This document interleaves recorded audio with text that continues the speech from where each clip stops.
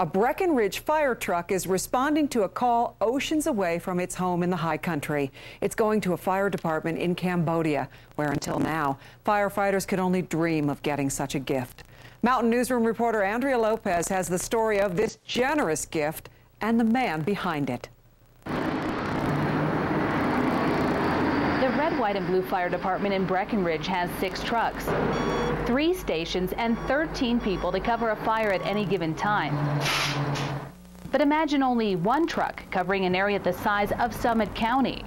It would be terrible. It would be super tough. Uh, Firefighters like Jason Klein we, can't. Uh, That's why his department responded to a request to send this truck a half a world away. Sihanoukville, where the fire truck is going, about 15 firefighters man the only station, and they only have one fire truck.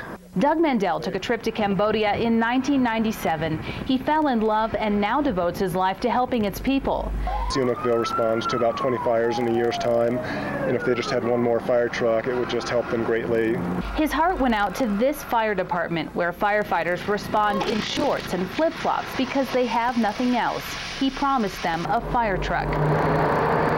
But it wasn't until Breckenridge decided to get rid of this outdated one that the promise was made good. It means a lot to us. Um, you know, we, we definitely want to help other people out, and uh, by us donating this engine, I, we feel like we're doing that. A lot of smiles and just um, it'll just make their it'll make their year.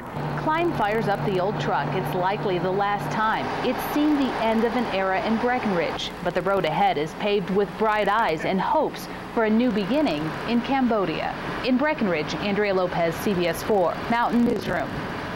Mendel hopes to ship the truck over by early September. That's going to cost about $12,000. The government is considering picking up the cost, but if it doesn't, Mendel plans to try to raise that money.